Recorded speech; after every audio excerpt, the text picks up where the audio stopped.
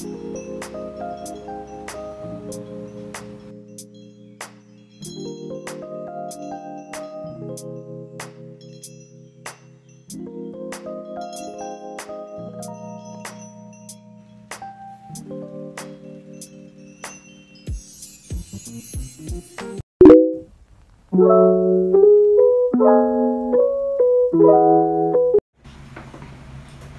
everyone, it's Jessica vlog.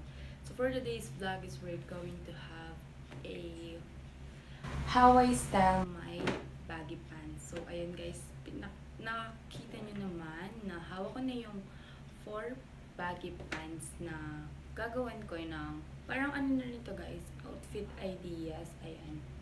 And makikita nyo naman dun sa isang clip ko sa huli guys, iba yung suot kong damit dahil kahapon ko yung tinake and accidentally na-delete ko yung intro ko and yung isang, dalawa yung na-delete ko and ayan, kaya nga ako nag-ano eh. So ay na-delete ko nga guys and kulang yung clips ko kaya ayan, no choice tayo. Kaya mag-ano tayo, mag-fill tayo. So guys, meron akong apat na pants dito. Meron akong apat na baggy pants na i-ano ko guys, i-aura ko na iba't ibang style para naman ma-share ko rin sa inyo. And para magkaroon din kayo ng idea kung paano paano aanuhin yung baggy pants. Nasa sa inyo naman kung paano nyo siya dadalhin. So, start ko na dito sa isang to. Ayan. Ayan yung ano niya guys. Divided. H&M kasi to. And, meron lang siya mga tattered dyan. And dito sa ano, sa tuhod, sa patuhod guys, meron siyang tattered. Ito yung pagka-tattered niya. And etong isa is medyo malaki. And, high waist to guys. Tapos, mahaba siya sa ilalim. Para talaga yung pang ano, yung sa 90s na pants. Ayan. Super ganda ng fit nito sa akin. Medyo maluwang lang siya sa bewang din. Bibigyan mo lang siya ng sintas dito, guys. Meron akong nilalagay sa ano. Kapag, alam niyo naman, sa picture, mahilig kasi ako mag-picture, guys, ng mga outfits. Kaya, kapag hindi ko sila kasya, bigyan natin ng sintas sa likod. So, next is eto. Ayan. Ay, this one is from, ano pala, H&M na, guys. And, eto guys, from Isa Thrift Shop. Ayan siya. And mer ano lang pala siya sa likod. Garterized siya guys. Tapos meron siyang slit dito sa ilalim. Ayan. Both side meron siya guys. And then, ganyan lang siya sa ilalim. Super ganda rin ang fit nito sa akin guys. Nagustuhan ko dahil, tignan niyo yung kulay, di ba? Ganito yung mga gusto kong kulay ng pants. Tas dark, ganun. Mostly kasi, mostly kasi, mostly kasi guys, ganito yung gusto ko. So, next is, eto.